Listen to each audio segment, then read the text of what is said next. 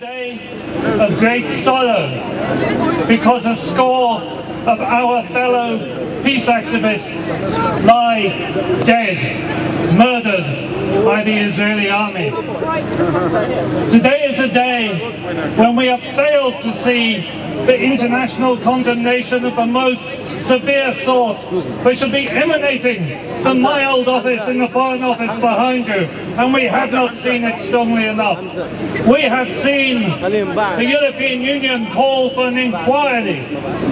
I can tell you this, 20 of our colleagues are dead. That is a fact. At the end of the inquiry, 20 of our colleagues will still be dead. What use is your bloody inquiry? We don't need it. What? Let me tell you this. I used to be the head of the Foreign Office Maritime Section. What Israel did in boarding a foreign ship in international waters is an act of illegal war, plain and simple. But let me also tell you this. In international waters, the law which applies is the law of the flag state of the ship on which the incident takes place.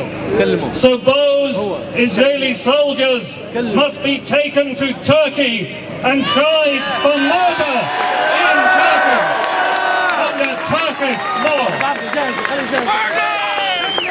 And we must not forget that the cause of this incident is Zionism.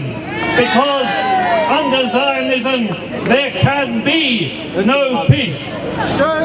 There cannot be peace with a philosophy which claims a divine right to occupy somebody else's territory and a divine justification for murder. Zionism is bullshit!